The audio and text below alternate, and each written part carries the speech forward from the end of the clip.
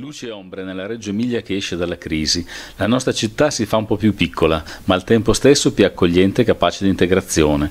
E ancora alle prese con un elevato numero di persone in condizioni di vulnerabilità lavorativa, ma in deciso miglioramento sui valori relativi al PIL, all'occupazione, alla flessione del numero del senza lavoro e al reddito medio dei contribuenti.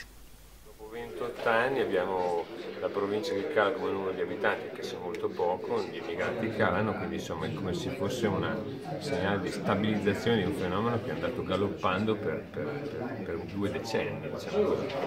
Quindi è un segnale che può essere letto in termini di minore attrattiva, ma io non lo legerei in questo modo, di una stabilizzazione di un fenomeno che anche nelle province limitrofe funziona così, non è soltanto a Reggio.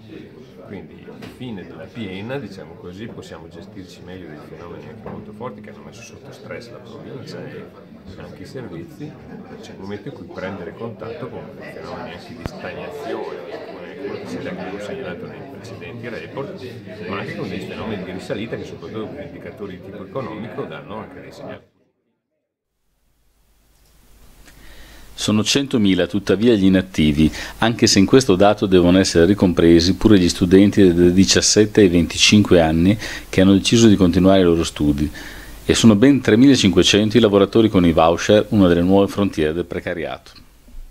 Controvertibile cambiato notevolmente, sta cambiando il modo di essere dell'immigrazione nella nostra città. Noi abbiamo avuto per oltre vent'anni flussi migratori importanti, importanti, imponenti, di oltre 2-3 mila abitanti all'anno, che hanno portato questa città ad avere quasi il 19% di popolazione residente di origine straniera. Da tre anni a questa parte questi flussi si sono invertiti, per cui in realtà l'immigrazione sta calando.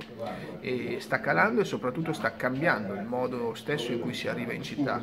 Prima era un'immigrazione totalmente economica legata alle dinamiche del nostro modello produttivo, Oggi l'immigrazione è anche legata al sistema dei rifugiati, alle vicende dei rifugiati. E non è un problema però strettamente reggiano, questo è un problema italiano, un problema europeo, un problema mondiale ed è un problema che va affrontato anche con l'aiuto del governo e di altre istituzioni perché naturalmente non si tratta soltanto di accoglierli ma si tratta anche di accompagnarli in un percorso di inclusione, di avviamento alla cittadinanza.